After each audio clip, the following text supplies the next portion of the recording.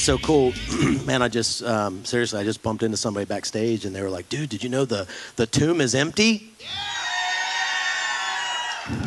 All right. Welcome to the First Heavy Metal Church of Christ. I'm Brian Smith. If you're watching or listening for the first time today, please check us out at heavymetalchurch.com, on Facebook under the First Heavy Metal Church of Christ, Instagram under Heavy Metal Church, YouTube under Heavy Metal Church. Hey, and we are going to start something new. Um, finally got rid of Vimeo. It took me forever. I tried to, because we use YouTube now, so I was going to try to stop paying Vimeo, and they said we were going to lose 500 of our videos if we. And I'm like, uh. So I've spent the last couple of months downloading every single message that we've ever done since our first year anniversary in 2012. Man. So I just finished it this morning. So yes. So with that being said, I think we're going to start. Um, we're going to start something called the Heavy Metal Vault or the Heavy Metal Archives or something like that. And then every since we don't do a Sunday night service, or a Wednesday night service, maybe on one of those two days at like seven o'clock at night, I'll start all the way back from the beginning and each week post a message because I know we have a lot of first timers or a lot of newer uh, members and all that kind of stuff and throughout the years and everything. So you can watch it from the beginning. I'm just so, I, I'm going to be a little vain right now. I don't like the way I look back then. I'm serious. I was a runt, man. I'm uh, I'm talking, and then trying to grow this biker beard and all this stuff for the first year, and it's just like, and then so yeah, try not to laugh too much. At least pause it just for a minute, just get your laughing out of the way, and then hear the word of God. Because I wish I would have started doing this from day one, but you know, again, I started this with um, a pack of or a box of cheap New Testament only Bibles. Christians that give Jesus a bad name with no pictures, an 8 by 11 form, and bam, you know, so it was great. Um, just the history of this. So, anyway, I'm going to start doing that. Might even start it tonight. And let's go ahead. We're going to start a series right now. And uh, hopefully, I pray that you guys will get something out of it. The past uh, couple of weeks, we were talking about forgiveness, which that's the F word for Christians. It really is. Um, can anybody be honest and show of hands how many of you actually took the letter challenge and wrote a letter or contacted somebody from your past? Two. Okay. Well, the rest of you, I encourage you continue to pray about that because we all have people um, that we could reconcile with or try to, you know, whatever. It's just all it's going to do is improve your walk with Christ. So for the two of you that did that, praise God, and I know God's going to bless you for that. If you don't know what I'm talking about, go back and watch the last two weeks uh, of messages, and it was convicting, man. I, I wrote one letter, made one phone call, maybe two phone calls. I've maybe like a, an email, a letter, and two or something like that. I it it convicted me too, and I'm still going to keep pressing forward. I'm constantly asking God to put on my heart. You know, I want to be the best I can be for Christ, man. And I'm never going to be perfect, but that doesn't mean we should not try and I, you know, we should tie up all of our loose ends. But and then the two most important um, commandments. You know, everybody's like, well, the Bible's just got all these rules. There's two rules. That's love the Lord thy God with all of your all of your soul, mind, body, spirit. Because if you do that, and then the second one is love everybody else like you love yourself, if you really focus on doing that, the Ten Commandments are just going to fall into place the i mean because you're not going to if you're loving your neighbor like you love yourself you're not going to steal from them. You're not going to you know be with their spouse. You're not going to you know what i mean? So anyway we take that serious. And uh, today we're going to dive into um, i'm just going to go you'll figure it out eventually what the series is going to be about but some of you have had um, some here excuse me some of you here and many Christians uh, live defeated Christian lives, man. You're defeated all the time uh, because, first of all, you're blind to spiritual warfare. Um, a lot of Christians, oh, that's just hyper faith or that's just this and that, you know. And then the ones, and then there's many that ignore it um, or, are, or are ignorant on how to fight it. And sorry, I usually don't stumble that much. I was jotting that down in the back room, but let me say that again. Some of you here and many Christians live defeated Christian walks, your Christian lives, because you are blind to spiritual warfare. Some of you doubt that it even exists, and then also you're ignorant on how to fight it. So we're going to start in 1 Peter 5 5 through 11. That's 1 Peter 5, 5 through 11. And it says, In the same way, you who are younger, submit yourselves to the elders, all of you. Clothe yourselves with humility toward one another because God opposes the proud. I know many proud Christians, but shows favor to the humble. And that's how we want to strive for our hearts to be. And that's pliable so the Lord can mold us and shape us like uh, wet clay, you know, moist and wet clay. And um, humble yourselves, therefore, under God's mighty hand, that he may lift you up in due time. Cast all of your anxiety on him because he cares for you. I love that, um, that meme that has the little boy peeing in the weeds, and it says, The less you care, the happier you'll be. And that's the truth. Cast all you what what what makes it's the anxieties and the cares of this world that that gets us you know? And it's like god that was never supposed to be the life for us was constant worry constant anxiety. Let it go. Let it go. And just enjoy god enjoy your family enjoy your children and grandchildren enjoy your aunts and uncles whatever it may be your spouse Cast all your anxiety on him because he cares for you. Be alert and of sober mind. Your enemy, the devil, prowls around like a roaring lion looking for someone to devour. Resist him, standing firm in the faith, because you know that the family of believers throughout the world is undergoing the same kind of sufferings. And the God of all grace, who called you to his eternal glory in Christ, after you have suffered a little while with him himself, restore you and make you strong, firm, and steadfast. To him be the power forever and ever. Amen. Now, the, amen. Yeah. And there's a thing that's taken place. You know, we look at our brothers and sisters in Christ overseas, their battles are their lives. They are getting tortured. There, there are more persecuted Christians getting killed. Mur- I forget what it was, something like a how many uh, like a, over a hundred thousand in so many months or it's crazy. I'm talking burned alive heads cut off drowned in cages. The women are raped or sold into sex slavery or turned into muslim um, sex objects to be passed around. It, it, it's it's and here we're so spoiled over here our persecution over here is more here. In the mind, um, splitting congregations with with slander and with division and with you know all of that kind of stuff. Satan don't have to try too hard um, over here in America. He he don't he joins the churches. It's not the it's not the world over here in America that's going to come after Christians. It's brother and sister so and so in Christ. Am I right? Okay?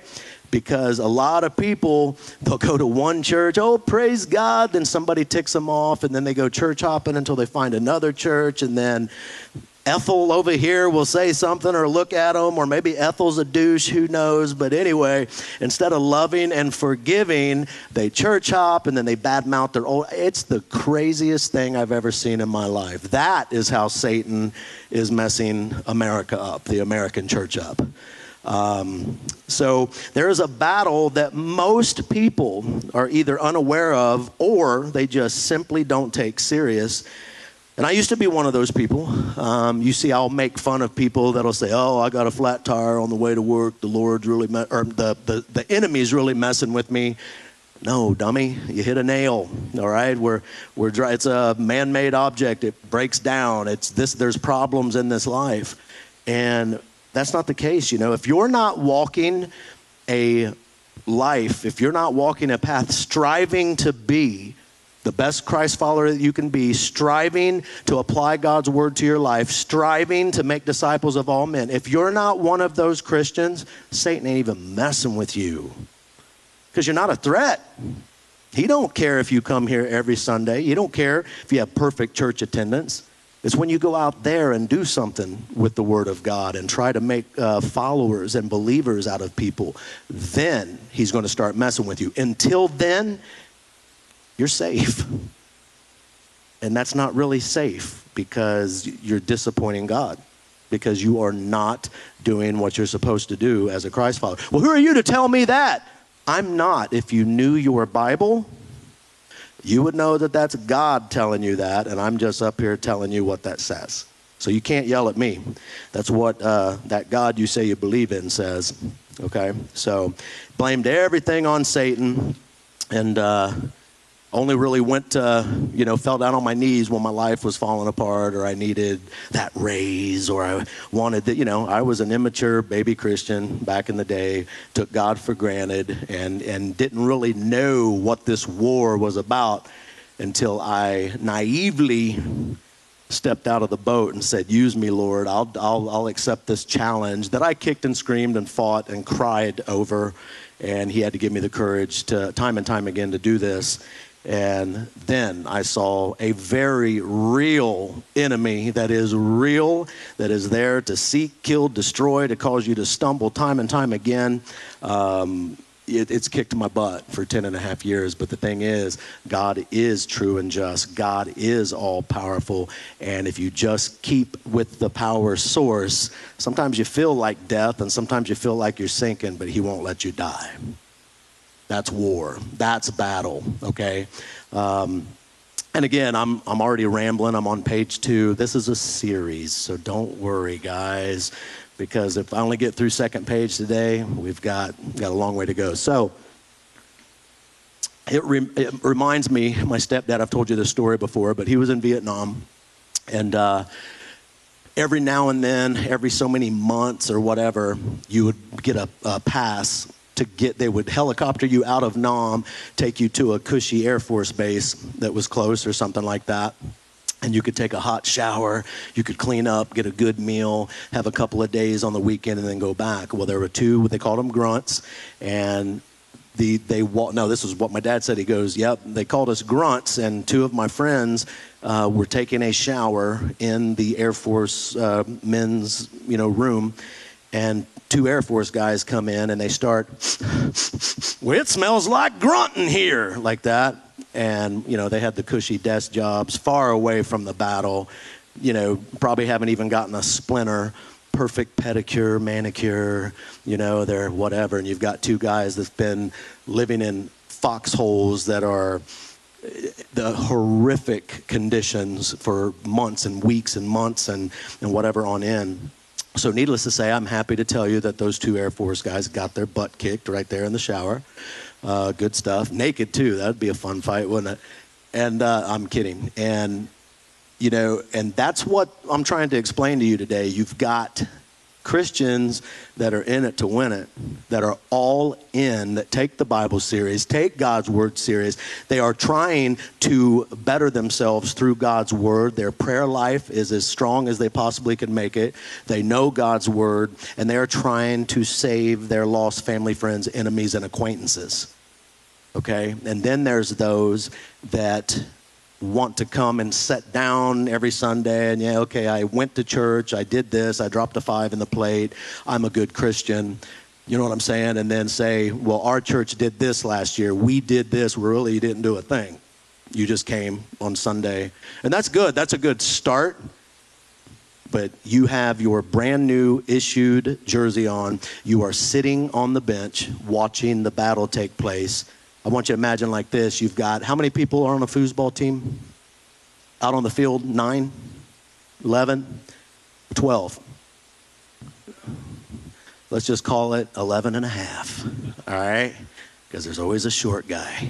No, I'm joking. So 11 people out on the foosball field, and they're getting bloodied, they're getting bones broken, and all this kind of stuff. And then they win the game, and then you've got the 20 or so bench that are, yeah! yeah, we won, man, roo, roo, roo, you know, and you've got the battle guys coming in like boom, boom. You know what I'm saying? I don't want to be a bench sitting Christian. I don't, man, never again, because I used to be one. I used to be one. I don't ever want to be that again. Have you ever been sitting in a chair only to find that you've drifted off to sleep, but it's only upon awakening that you become aware that you even fell asleep. You know what I'm saying? What? Many times. Um, just don't be a truck driver doing that, okay? Until you awoke, you didn't know you were asleep. And that is how it is with deception. You don't you do not know you are deceived until you awake from your deception. A deceived person will not even check to see if they are deceived. I mean, why would they? They do not know that they are being deceived. There's deceived people everywhere. Everywhere. Deception is a powerful tool that Satan uses on the human race for its destruction. And Satan's deception is very subtle and mixed with some truth to make it palatable. Let's take a look at a couple of deceptions that Satan has successfully placed in God's church in these last days. Now, again, when I was, I guess, lukewarm or a bench setter or whatever, and uh, the only time I ever got on fire for God was uh, when I was facing a hard time in life, or you know, every now and then, you know, I was young, so every now the next, the Jesus is coming back because here's the final, you know, whatever. Oh, I gotta get by, you know, kind of like when 9/11 happened, and uh, all of your there's no small kids, all your half-ass Christians uh, started filling the filling the churches and stuff, and they had the high, the highest church attendance in years and it lasted for a few months until they realized, okay, false alarm. And they just slowly started to trickle off and it went back to normal. Okay? God's not going to honor that. You know what I'm saying? You're either in or you're out. You're either hot or you're cold. And um, that's it. And it wasn't until I took a leap of faith and obedience and I saw a real war taking place. A war that only affects Christ followers that are in the game, say in the game, and not just sitting on the bench claiming victory, just like I, you know, you know, bench setters, they, if they keep practicing hard and all that kind of stuff, hopefully they will get in the game someday. But I want to be the people getting bloodied out on field. Um, if you are a lukewarm Christian, there is an enemy trying to keep you there. Okay? Plain and simple. If you are a self righteous Christian, oh, there's so many of those uh, holier than thou, goody two shoe, self righteous types. If you are one of those, there is an enemy trying to keep you there. If you are a non believer, there's an enemy trying to keep you there. And I think a lot of times he just shows the stupidity of Christians. And that's, uh, that's easy enough to keep somebody from not wanting to step foot in a church. If you're on fire for God, there is an enemy trying to get you to turn down the heat to room temperature, to lukewarm. And listen, he won't mess with you when you're on fire. When you're all filled with the Holy Spirit, you're like, yeah! He'd be stu- he's smart. He's a military genius. He'd be stupid to mess with you then. Humans are notorious for getting lazy, complacent. You know what I'm saying? It's like you start getting used to something you start getting that's why the whole pizza bus thing i've decided to just do it once a month to keep them excited and thankful and happy and not to take it for granted. We are so easy. The easier we make our lives the easier it is for us to become sloth and lazy and, and whatever. I mean look we're the most out of shape nation in the history of nations and it's because we've got it too easy. Um, so he'll strike when when you are not like woo, you know, for God. So I mean, think about it though. Think about deception um, and how easy, you know, that to be. If you don't know your Bible, that's why I always say, don't take my word for it. See, I should just be saying, unless you're a baby Christian and you're learning and everything and you're growing, if you're a mature Christian here today, I should just be saying stuff that you've already known that the Bible says, just in a different way, or stuff to make you think, and the Holy Spirit can target your heart, or we, we need that constant reminder you know, that uh, forgiveness. Who who would have known? We're supposed to forgive, you know, and we do a message on forgiveness for two weeks, like, oh crap. I've been living these past couple of years with loose ends with this person and this person. Oh no, I gotta contact that person. You know? So we're growing, we're sharpening iron here, but think about it. Jehovah's Witness. Some of the nicest people I've ever met. I mean, I and they Satan, that military genius, just removed a little here, a pinch here, and it's a false doctrine. You know what I'm saying? It's, it's the same way with Mormons. And I have nothing against it. My best friend's a Mormon. totally. But they change just, and it's the most important stuff that Jesus was God in human form, period. But the Mormons and Jehovah's Witnesses do not believe that. And that's the meat and potatoes is that he was God in human form. He rose from the dead. Um, I, I, Jehovah's Witness sent me an Easter uh, pamphlet one time in my mail, and it said the the greatest death of all time. The greatest death of all time. And I was thinking, my God's alive. You know what I'm saying? Jesus is alive, and. Um, so it's so easy, just a slight, to be deceived, man. You know, there's other Christians that believe, like I think it's called, uh, yeah, universalism.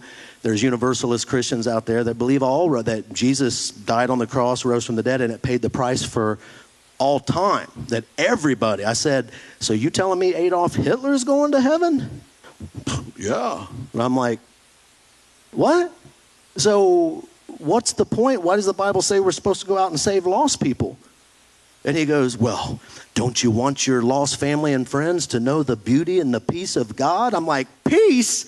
I was like, Ever since I stepped foot out of this boat to save lost people, my life's been hell on earth. And the only thing keeping me going is the peace of the Holy Spirit and the joy of knowing where I'm going after this. But my life's been pure hell since I've taken the Bible serious. How much, how it'd be so easy. I wish universalism was true. Because then my people that I love so much that still haven't accepted Christ, I know would make it. But that's not the truth. That's not the truth. That is, that is a lie. That's why you got to know God's word and you have to be in tune with the Holy Spirit because I've seen solid Christians get mad because of whatever. I'm not going to go straight in, you know, get sidetracked. But they got so mad at God over something. Well, I guess I do need to tell you.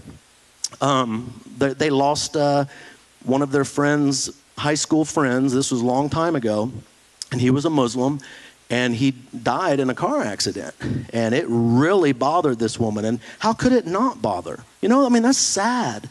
And she come up, she goes, So are you telling me that if he wasn't saved and said a prayer and that because he's Muslim, he's going to hell? And I said, Well, listen, you don't know the last seconds and all that stuff of somebody's life. Many Muslims, many Muslims are converting to Christ. Okay? I was like, But yes, I'm sorry. I have to tell you the truth no matter how bad it hurts. And please don't get mad at me. But I have to let you know that if somebody dies and Jesus Christ has not been confessed as their Lord and Savior in repentance of sin, and they believe that God, God raised him from the dead, and they are, yeah, he didn't make it. And next thing I know, they quit, and I'm being slammed all over Facebook as a hate monger as uh, I'm a hate pastor, pastor filled with hate, all of this stuff. And I mean, I about cried over that because I don't want anybody going to hell. Okay? And I mean, because that's, that's, a, that's a real place. And the last I heard, and these were solid Christians, but it affected her so much that the last time she denounced it, months went by, they tried that universalist stuff, and then the next thing I know, um, she's into Wicca now okay? And and I feel so bad for them because the truth can hurt. And that's why we are supposed we don't know which one of our loved ones and everything is going to go next. But what we do know is they're all going to go. We're going to go. And that is why, with urgency, not trying to shove a book of rules down somebody's face, but the love of Christ the love of Jesus, it is a free gift, and you don't have to change anything about your life because He's going to clean you up along the way. You just focus and confess, repent, and let's get to know Jesus together. And we're just going to love the hell out of you through the cleanup process. But here's the thing we're all in the cleanup process. So whether John Boy over here has been saved for 20 years or you for 20 minutes, John Boy better never appear to have his that his poo poo doesn't stink at the First Heavy Metal Church of Christ, because I will assure him it does as I show him the door. Love, because we are all sinners saved by grace, And that's it. I mean, it doesn't give you a hall pass to sin, but you're going to mess up, I'm going to mess up, and God is true and just to forgive a repentant heart. Deception, um, Satan's most successful tool. He wields this tool with devastating results. Just think of all the people that followed David Koresh and Jim Jones. Those are just two. That, there was, there's been tons of false prophets throughout the, the years and the ages. It's like, how can you take somebody that believes in Jesus, then you've got some smooth tongue devil up there. Oh, I'm a, God told me I got special. If I ever come in here, first of all, pray for me that I never do because that means I got compromised, all right? But if I ever, ever, ever come in here and tell you anything that goes against God's word, and then I say, but I had a special revelation from God. I want you to get up and leave. For real. I've told you that time and time again. If I pull up in a rich man's car, leave. Leave. If I buy $3,000 suits, if you see me wearing anything else besides comfort clothes and the one suit that I own for weddings and funerals from Men's Wearhouse, leave. Okay? Um, we teach truth here and I'll go horn to horn, toe to toe with all these people that are telling you you're going to go to hell for smoking a cigar. No, you're not. All right. Um, they're they're they're making it too hard. You know what I'm saying? And is it smart to smoke cigarettes? I'm going to defend cigars because I don't inhale. But it does say on the package that even though you don't inhale, it can still. So, okay, Okay? Is it, is it smart? No. But these, these are people telling me I'm going to hell for smoking a cigar that are obese and they eat fast food five times a week. So don't tell me about a clean temple, Hoss. You know? I mean, do you agree?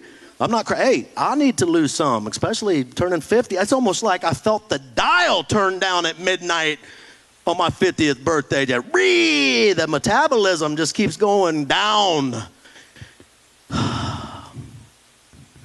What's that? Shut up. So, deception, Satan's most successful tool. Think about David Koresh. He convinced grown men and women that God said, I'm allowed to have sex with your wife.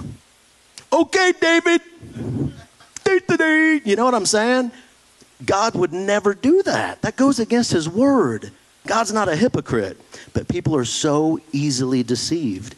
He uses doubt, makes you question God's word and his goodness. How many times I have heard that how could a loving God, how could a loving God, you know, when uh, something happens, a pedophile or um, rape or murder or molestation, or how could a loving God allow these horrific things? I don't know how to tell. He doesn't. This isn't. This is not what he will. He does allow it. Listen, this, this, li- this world, uh, the best way I can describe it is it used to be a watch that never needed winding. It was a perfect creation, you know, um, with all of that. And then as soon as Satan um, come onto the scene and deceived Adam and Eve, it became a wristwatch that needs wound up. And this world, since sin had been brought into this world, is a wristwatch that's tick, tick, tick, and it's ticking down to its last talk all right? And there's going to be some junk happening in that time.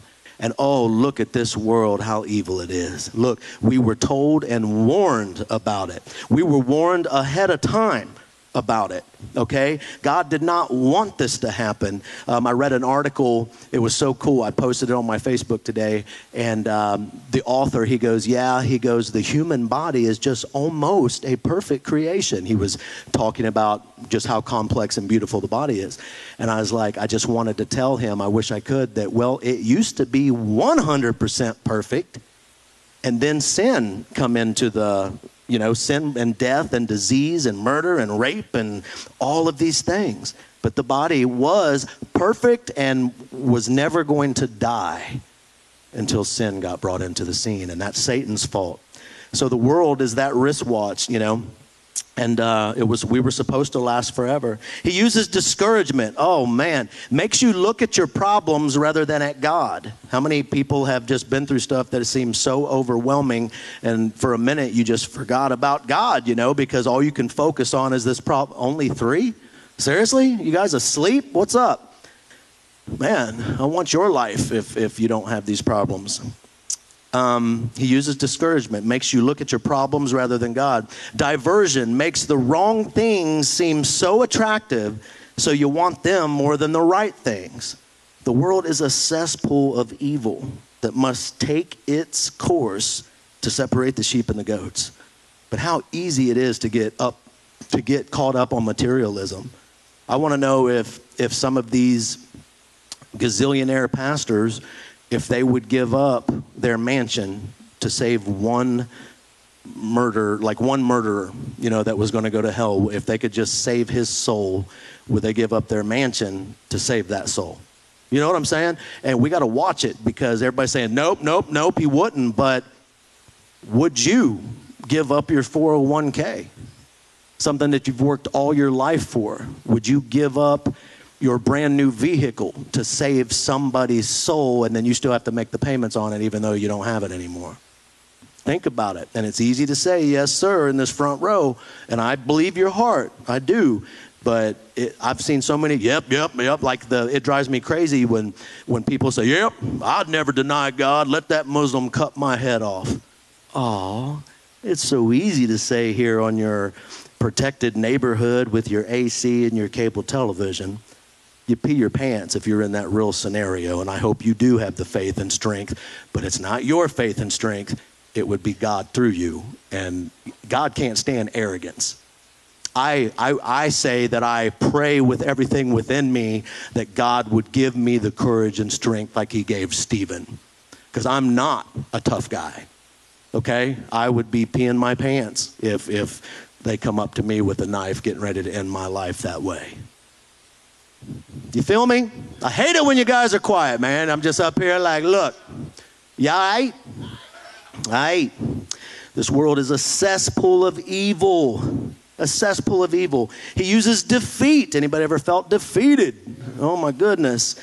He um, or low self-esteem, inferiority complexes. Defeat, low self-esteem, inferiority complexes makes you feel like a failure, so you don't even try.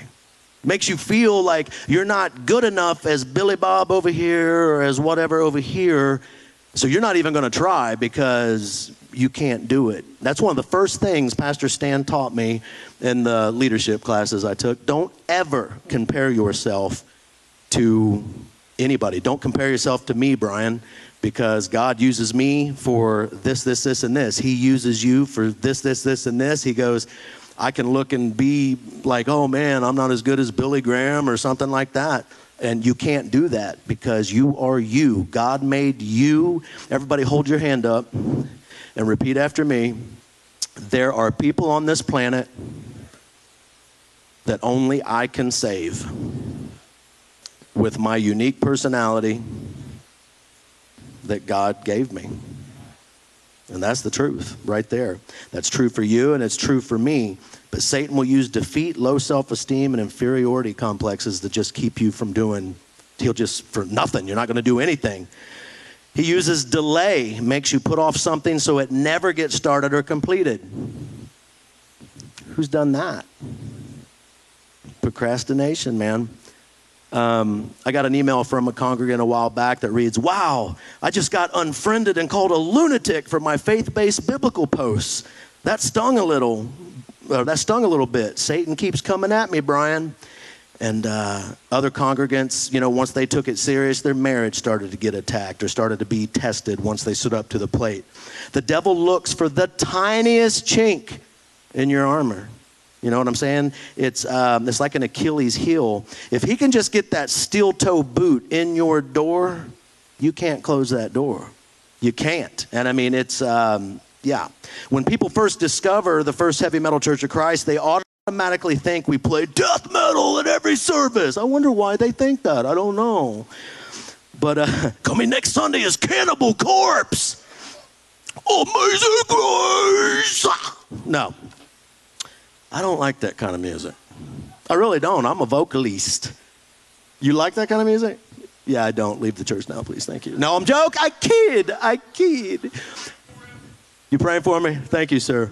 Appreciate that. No, I, am a vocalist. The music's great, but I don't. I call it Cookie Monster vocal.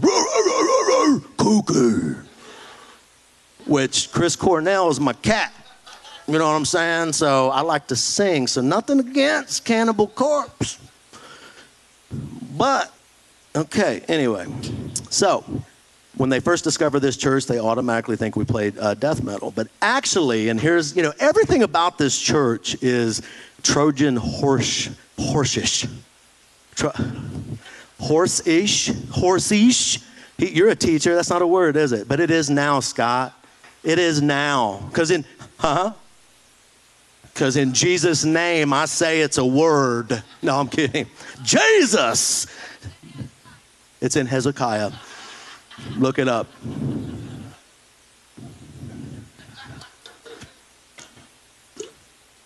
So, hold on. Trojan horse ish. Everything about, like the Hellraiser, like the shirts, like the, um, it's amazing. You know, I, I love the way we could take that coach anywhere. I mean, seriously, and, or even the old bus, the old bus with the Iron Maiden font down the side, and and and people are are just magnetized to it. I'm talking occultists, lost people, people that want nothing to do with church. We can go into the the baddest biker. I mean, my goodness, man, you were uh, talking to a one percenter uh, in uh, what's that? What part of Kentucky did we go to that had the motorcycle? Walton. Walton, Kentucky, for we were doing this blessing in the bikes thing, and this one percenter. And if you don't know what a one percenter is, that's like Hell's Angels, the Outlaws, you know, the the drugs, prostitution, murder type. Comes in and TJ's over there talking about Jesus with one of the guys. And you don't do that with the traditional looking church bus and a suit and tie guy. Nothing wrong with that. But there's different bait for different fish. You see what I'm saying? That's what I wish the other churches would get. This is just our bait. I come from a Baptist Pentecostal background. We're preaching the doctrine of Jesus, but get out of our way, man, because we're having fun doing it. And uh, we don't think rock and roll is going to send us to hell and all those other silly things. But yeah, so, and I lost my place. Yeah, so, uh huh. Trojan. Okay, but that's what we are, and the actual core meaning of our name is, is the armor of God. It means the armor of God, the heavy metal armor of God found in Ephesians 6 10 through 20. But everybody assumes, see, because we have this Trojan horse, the horsey thing about us, and just like everything else here at HMCC, but even the name was designed to grab attention. If all the, now I want you to imagine this. If there was a lost person, an atheist, a devil worshiper, um, somebody lost that does not know Jesus, and let's just hypothetically here, they were told, you see all these churches lined up down the street, you have to pick one to go to just once, or we're going to kill you right now. I know that's silly, but I'm just saying, imagine. So, just like, um, so if all the different denominations and church names were on a list and a lost person was told, you must pick one church to visit or die, I guarantee they would pick ours. I guarantee it. Um, just on a name. See, the modern day Pharisees rebuke us just because of a name. It's happened time and time again. Just the name, I've been told I'm a heretic and going to hell. Okay? But the lost people are intrigued now, I wish I could take credit for that. I can't, you know, because that genius move was, for me, was an accident. But for God, He knew what He was doing the entire time, you see, because I had to, it come time I had to name this church. It was like three days um, before launch, okay?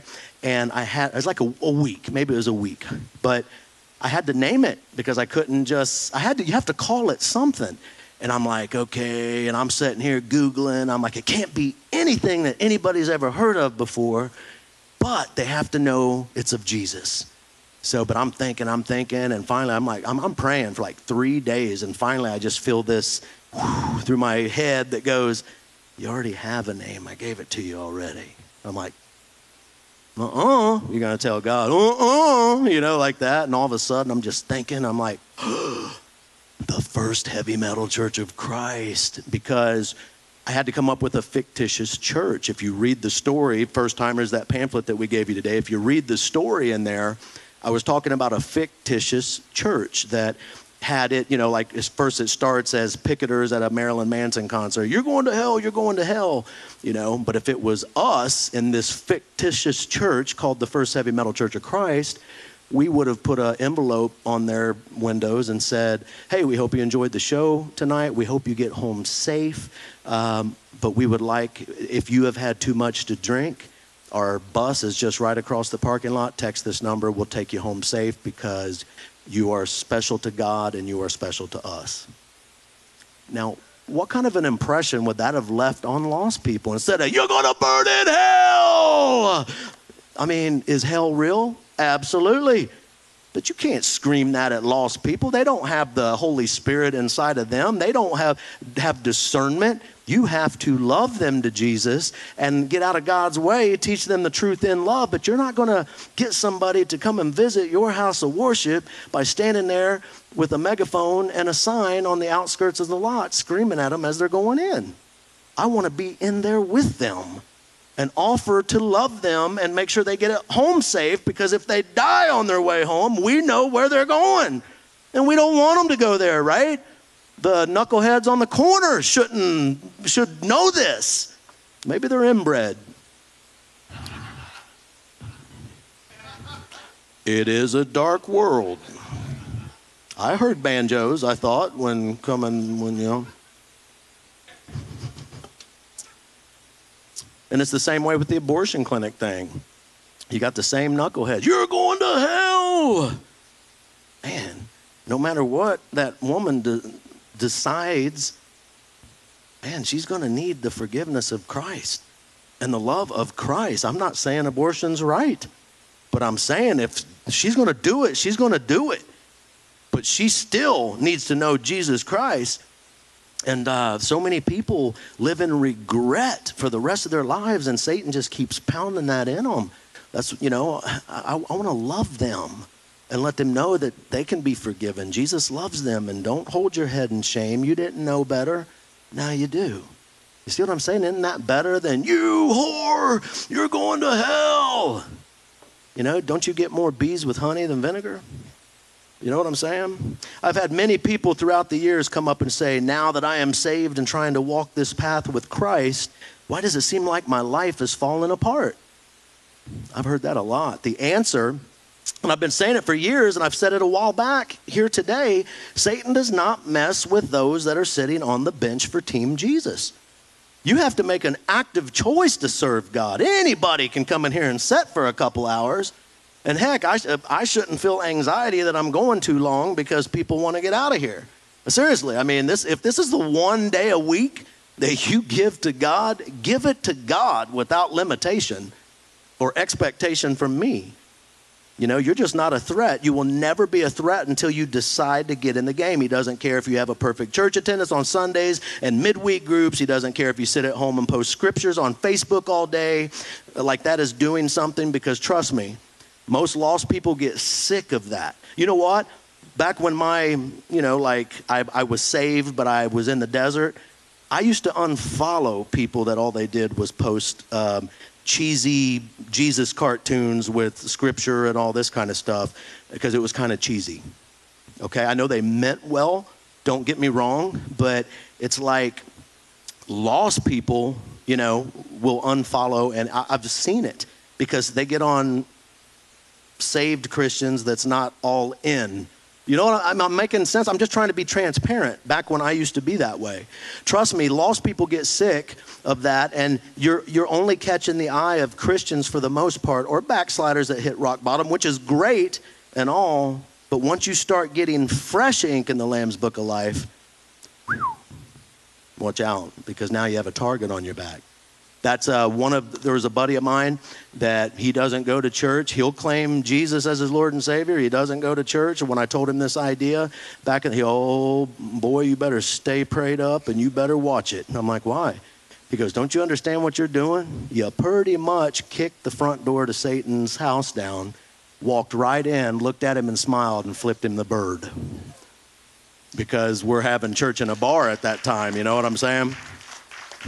You got a target on your back. You know, if you are actively trying to make disciples of all men and baptize them in the name of the Father, Son, and the Holy Spirit, you have a poster of you down in hell, hell's most wanted, because you're going against uh, their agenda. Heavy Metal Church has had four significant church splits in 10 years and seven months. I mean, significant. And unfortunately, it won't be the last. I tell, I tell everybody after you know, we finally get through it. It won't be the last. Stay on guard. I tell my leadership team all the time watch for discord, watch for gossip, slander, anybody that's coming at me or coming at, you know, whatever, because it, it's, you're sitting in here somewhere. We just don't know who you are. That's scary too, to stand up here and say. I mean, who do you think is responsible for that? The church splits, you know? I mean, that is, that's Satan, plain and simple.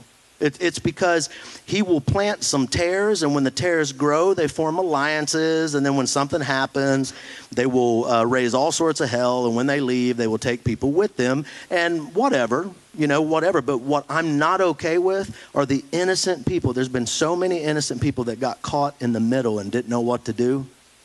That's who I am concerned for because then they just quit going to church.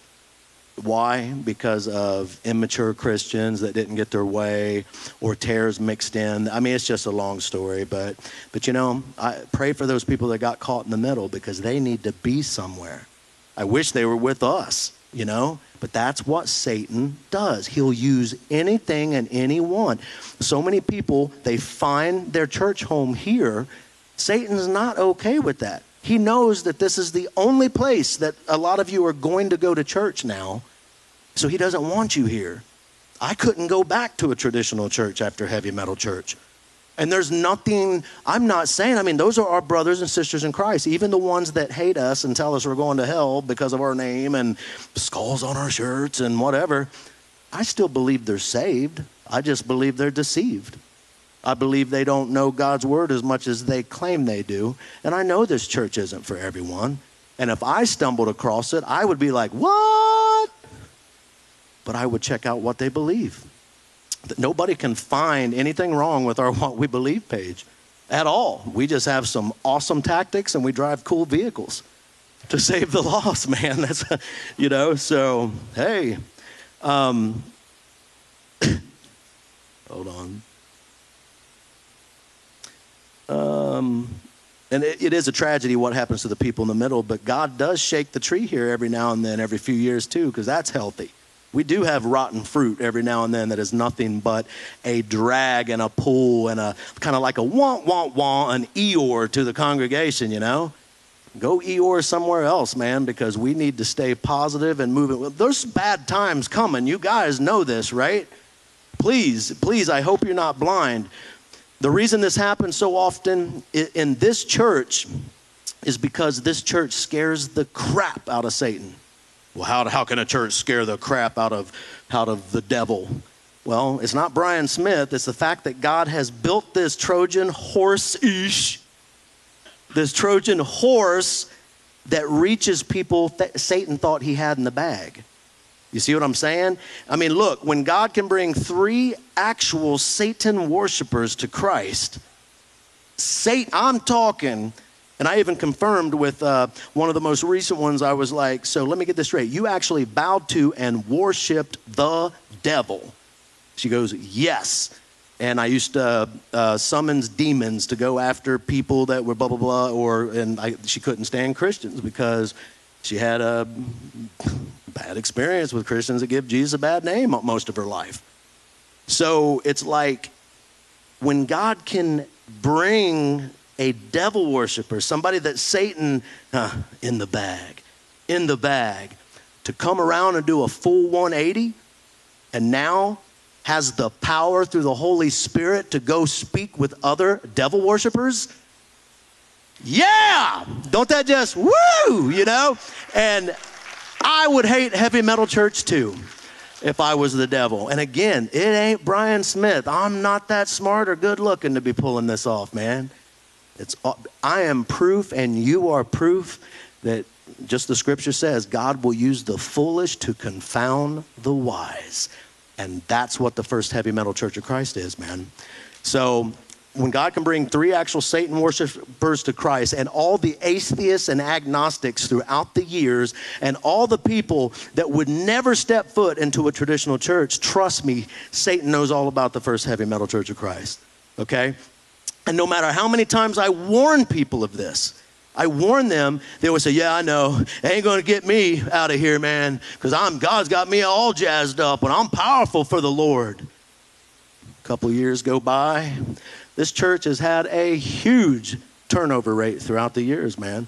But that's okay because I've read articles before. Um, a church that has a high turnover rate, a church that has a high fluctuated attendance. Like one week we might have 100, the next week we might have 150, I mean, whatever. But that shows that you're reaching lost people because they're baby Christians. They don't have it in their agenda to go to church every week. You see what I'm saying? Like, if you go to, to me, I was brought, you go to church, that is, that's the day you give God every week with little to no exception. All right? But people that are new to the Lord, they're not there yet. So a fluctuating attendance is okay. We have lost some amazing evangelists here throughout the years due to people coming here and, and joining a clique or coming here and getting too caught up in what they shouldn't have been caught up in, and then Satan gets them every time. I've seen this happen numerous times. They find a boyfriend or girlfriend and then break up, or take it all the way to marriage and then get divorced. But nine times out of ten, it's always drama, gossip, and pride that causes church splits especially here. And it's a tragedy um, and causes people to leave. And, it, and it's people that truly need this place. You know, I, have talked to people before that'll come in. I just, oh, I praise God that He led me here to heavy metal church. And then something happens a year later that has nothing to do with heavy metal church, but maybe a congregant of heavy metal church, a dating scenario or something like that. And then they leave because pride, they got their feelings hurt, Satan knows us better than we know ourselves. Once you're not fired up anymore, and he knows how to rattle your cage, he knows what kind of people to use to rattle your cage and get you to boot scooting because he don't want you to be effective. I'm watching the clock. You guys getting anything out of this? See, there's this thing called spiritual warfare. Say spiritual warfare and say it again. And many Christians just don't take it serious enough. You know, a lot of Christians take the devil as some little woogie boogie, you know, guy that comes out in a red tights and a, you know, no, he's very much real. He can't hurt God. He can't beat him in an arm wrestling match. He can't nothing. But he figured out how he can hurt God's heart. And that's by filling up the pit with with souls that God loves, and now there's many souls that's going to be without God for all of eternity. That's how Satan hurts God. It's like sticking a knife in a in a wound that's already a wound, and that's what he's doing to God. And he's going to get his someday. But that's why we got to take saving souls serious. So, what is spiritual warfare and what does the Bible say about it? So, basically, that's what our series is going to be about today is an introduction to spiritual warfare and to the full armor of God. And we're going to go through each and every piece. So, I don't know how long that's going to take, but who cares, right? There are two primary errors when it comes to spiritual warfare. Now, listen up. The first is overemphasis, and the second is underemphasis. The first is overemphasis, and the second is underemphasis. Some blame every sin, every conflict, and every problem on demons that need to be cast out. That there is a demon under every rock. The devil made me do it. Listen, I don't need much help from the devil to screw up. I don't. Do you? I don't. There's enough in society now TV, commercials, uh, whatever. Hey, Google, show me you know what I mean? We don't need much help to screw up. Satan is very much real, and he does tempt us to fall and all of this kind of stuff. But some people, again, you've heard me reference it a thousand times. Oh man, that devil's just messing with me this week. Why? Well, I got a flat tire on the way to work. Or I got written up at work. Well, why? For being late. Well, are you late a lot? Well, yeah. Well, hey, dummy, quit being late. That ain't the devil, that's your laziness. We've all, Scott, you ever been late to work? Yeah, me too. Me too. Um, three times a week? No, right, okay? And that's what I'm talking about. That's not the devil, that is your poor work ethic, okay? Um, they will even blame little life inconveniences like flat tires on the devil coming at them. Then others completely ignore the spiritual realm and the fact that the Bible tells us our battle is against spiritual powers. The key to successful spiritual warfare is finding the biblical balance. Jesus sometimes cast demons out of people and sometimes healed people with no mention of the, denom- or the demonic.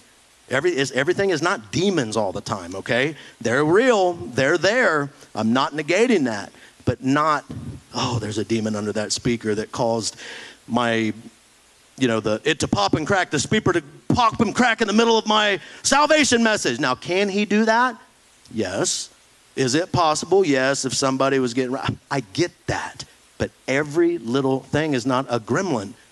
Belts go out on cars, microphones go out, cords always go out, right, Rex? Rex? Oh, he's. Never mind. Shh.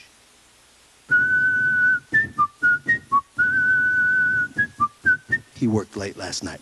So, um, the Apostle Paul instructs Christians to wage war against the sin in themselves, Romans 6, and to wage war against the evil one, Ephesians 6, 10 through 18. Now, Ephesians 6, 10 through 12 declares, Finally, be strong in the Lord and in his mighty power. Put on the full armor of God so you can take your stand against the devil's schemes. For our struggle is not against flesh and blood, but against the rulers, against the authorities, against the powers of this dark world, and against the spiritual forces of evil in the heavenly realms.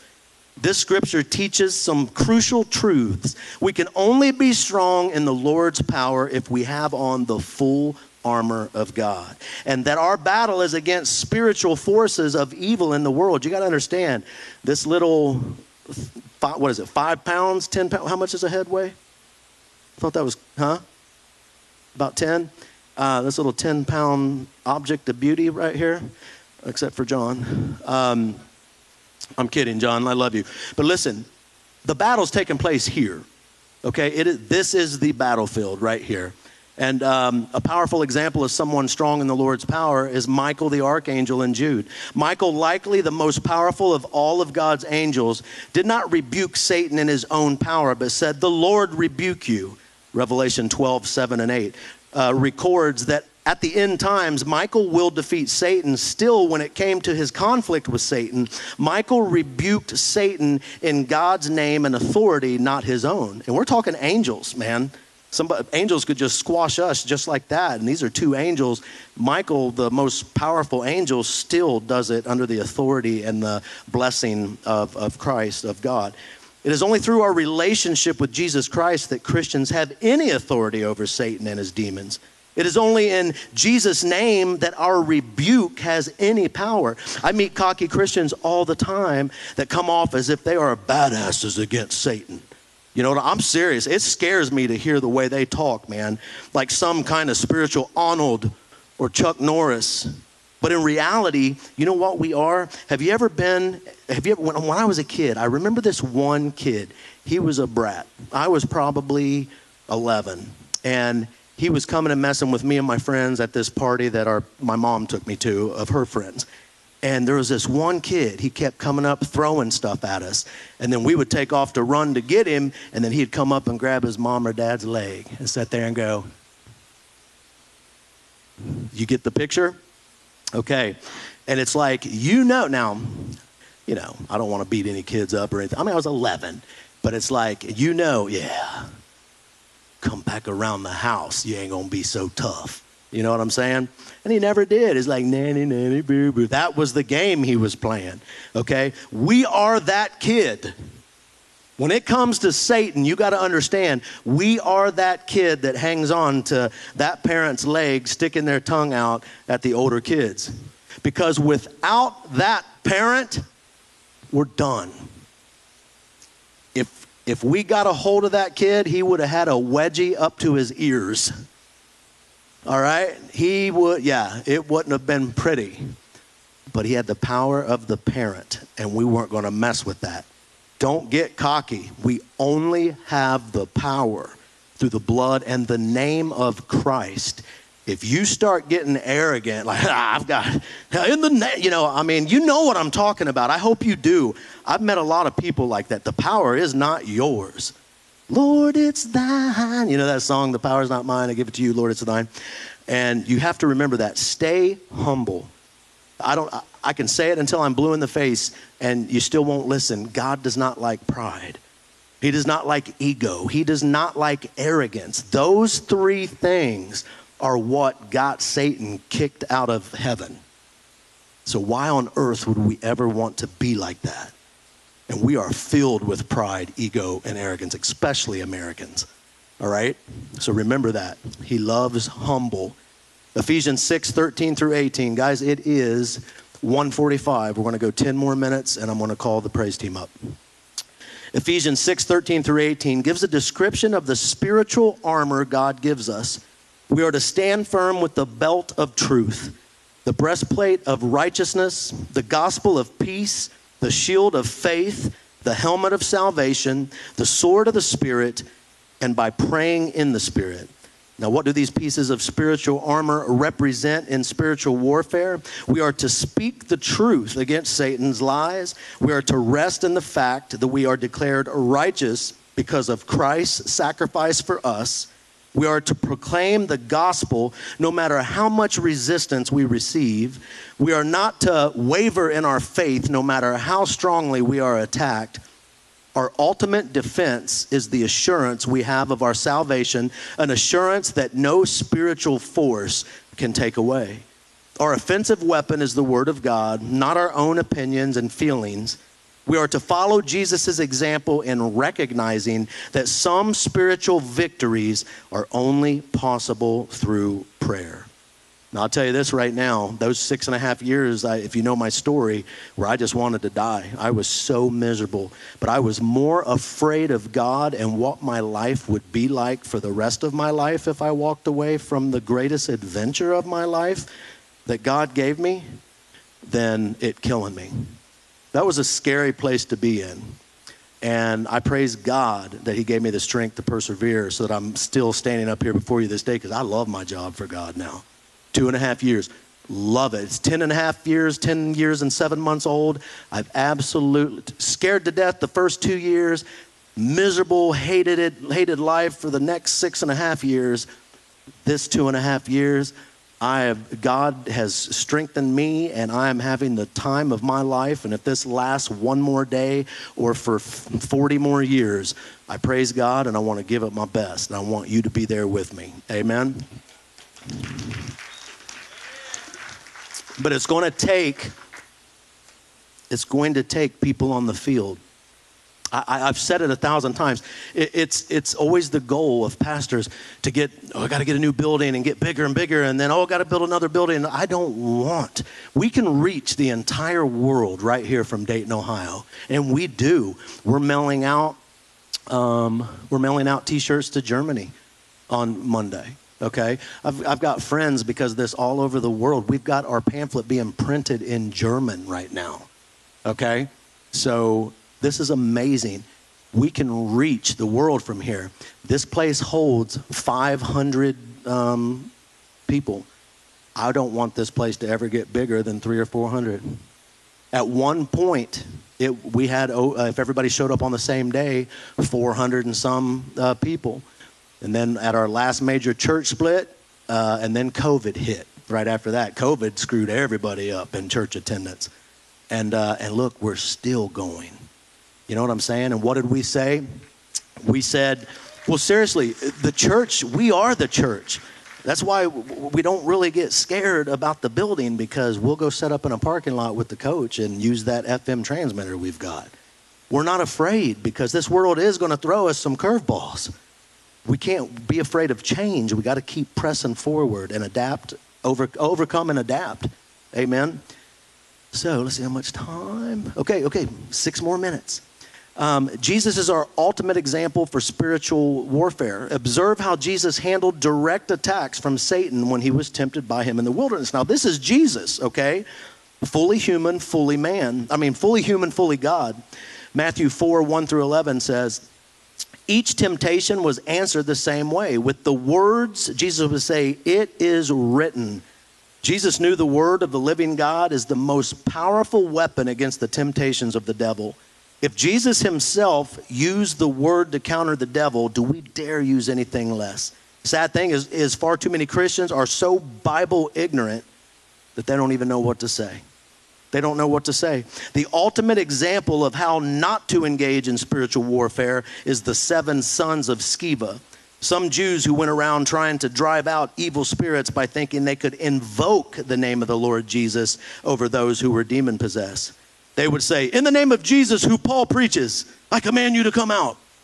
The seven sons of Sceva and a Jewish chief priest were doing this. One day, the evil spirit answered them back Jesus, I know and I know about Paul, but who are you? Then the man who had the evil spirit jumped on them and overpowered them all. He gave them such a whooping that they ran out of the house naked and bleeding. That's a whooping. Acts 19, 13 through 16, the seven sons of Sceva were using Jesus' name. That is not enough. The seven sons of Sceva did not have a relationship with Jesus, therefore, their words were void of any real power or authority. Now, here's the thing there is just the name of Jesus will make a demon tremble. So I picture it like this with the Sceva thing. The demon probably heard the name of Jesus, you know, when they, the name of Jesus, the, the demon was probably like, oh, uh oh, uh oh. And then looked and was like, ah, that was a close call, you know, like that, and then went and kicked her butt. False alarm. The seven sons of Sceva were relying on a methodology. They were not relying on Jesus as their Lord and Savior, and they were not employing the Word of God in their spiritual warfare. As a result, they received a humiliating beating. We need to learn from their bad example and conduct spiritual warfare as the Bible instructs us to. So we're going to re- let's see. We're going to stop right at going into the full armor of God. So here. So what are the keys to success in spiritual warfare? Praise team, you can come on out. First, we rely on God's power and not our own. Second, we rebuke in Jesus' name, not our own. Third, we protect ourselves with the full armor of God. Fourth, we engage, we wage warfare with the sword of the Spirit, which is the Word of God. And finally, we remember that while we wage spiritual warfare against Satan and his demons, not every sin or problem is a demon that needs to be rebuked. A fun little fact uh, about Satan is that he cannot be everywhere at once. Okay? He's probably dealing with Middle East and world leaders and all that stuff right now. I told you before, uh, we've, you've got guardian angels. Well, we've got demons that are assigned to us that do what they do. And I call mine Lenny and Squiggy because um, you know what? I, I just, it's just what I do. And, um, but I know he must know about us. And I don't say that again with ego, pride, or arrogance uh, or boasting but of just how powerful and severe some of the attacks that I have had in the past 10 and a half years, unlike anything I've ever seen in my life. And again, when God eh, has done something to be able to reach Satan worshipers and atheists and everything like that, there's a war going on, man. And we all need to stay together and prayed up and read Bible up and be together as that family that I know we are. As the years pass, it's like, you know, Betty, Barb. I mean, I'm, I'm looking around, but Scott, you, you and Andy, I feel are a part of this family now, and you haven't been here for that long. I hope you feel that way. And um, you two knuckleheads right there, love you both. Uh, you know, I'm messing with you. He'll beat you up. He'll, yeah, don't mess with that guy. He's, he's amazing. Um, but anyway, this is the family, and we have to, we're in this together. It's no joke. So, with that being said, I'd like you all to bow your heads. Um, this, this wasn't you know, we're going into a series. I hate, I never did like series, but I think this is this is important because most of my life, people would say, well, just gird up with the full armor of God. I'm like, okay, well, how? Well, you got to have the belt of truth and the, so, you know, and they don't explain, well, how's this belt of truth? You know, how's that going to protect me? And how's this, you know what I'm saying? What's this helmet? Yeah, I know all about armor, but when you're fighting a war of the mind and a spiritual battle with, with enemies you can't even see, that's like just standing here with a sword and all this stuff and being like, okay, where you at? You know, it's all taking place right here. So I hope that after the end of this series, we will know how to use these weapons within our mind. Why does the belt of truth, why is it needed in our mind to protect us from the attacks of the devil? That's how I hope to do this in the next couple of weeks, okay? So, with that being said, we're going to say, uh, we're going to pray. Um, you know, I don't know where our first timers are with God, where you're at in your lives. I'm not going to embarrass you or call you out, but God told me a long time ago, praise God, uh, 10 years and seven months, and we have never had a, a service without at least one first time visitor. And God put on my heart, I don't know if I'll ever see you again. And I just want you to know that so many people think they've been taught that you have to clean up before you come to Christ. That you know you got to stop doing this and this and this and then you can come to church and that's not how it works. You can't clean yourself up good enough for a, a holy perfect god and uh, without the holy spirit in your heart it's an endless battle anyway and it takes time of sanctification and god cleaning you up and i don't know about you but it's a lifetime cleanup process can anybody agree with that amen so i'm just here to tell you so many people that's come to our, across our path that believe everything they need to believe to be saved. They believe that Jesus walked this earth, that he was who he says he was, that he died on the cross for our sins, that God raised him from the dead three days later. He's coming back again. Romans 10 says that if you just confess with your mouth that Jesus is Lord and you believe in your heart that God raised him from the dead, you will be saved. But it doesn't mean you're going to walk out that door perfect. And I've said it a thousand times if you walked in here a douchebag today and you get saved, you're going to walk back out a douchebag. But you've got the Holy Spirit in your heart, and as you actively seek God, He's going to seek you and clean you up along the way. And then the second type is people that we go through periods in life. I've been through it, a lot of you have been through it, most of you have been through it, where you they call it backsliding or you're you end up walking away for whatever reason. You still love the lord you still believe but you just woke up one day and you're chasing your tail in the desert. And then satan wants you to run and hide and stay hidden to make you think that god's mad at you just like he did adam and eve in the garden. That's not the case. He loves you as much as he did um, before you were born because he created and designed you and there's nothing that you have ever done or will ever do that will make God love you any more, any less than He already does. He just wants you to turn around. He's true and just to forgive a repentant heart. And He wants you to turn around and see Him standing right there. He's never left you. And He's going to crouch down and hold His arms wide open and catch you. And you're going to walk off like nothing ever happened, hand in hand. And you're going to resume and pick up where you left off. But we're going to say a prayer. If you want to rededicate your heart to Jesus, if you're watching or listening, or if you want to be saved, you've never been saved, you believe everything, but you've never been saved, do it now. Don't wait. There's no prerequisite to be saved. That's a lie from the pit of hell. And we're going to pray it all together in case somebody in here wants to pray that along with us, or somebody at home. If you want to be saved, say it right there at the computer.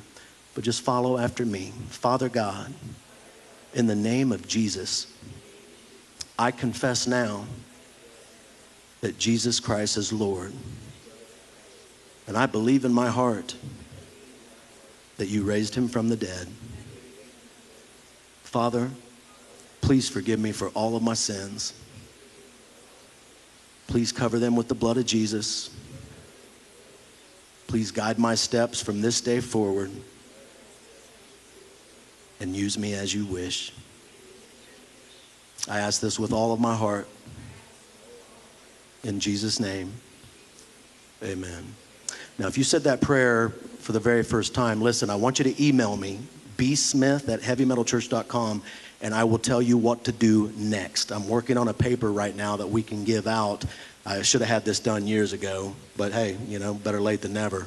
But it just, when you come to Christ, it shows what to do next, where to go, what to do, and how to seek Him. Uh, write me at bsmith at heavymetalchurch.com, same way with anybody in here, and I'll tell you the next steps to take. And God bless you all. Thank you for being here today. Bring somebody to service next week as we continue on with the armor of God. We'll see you guys later. But door 57's going to melt your face first.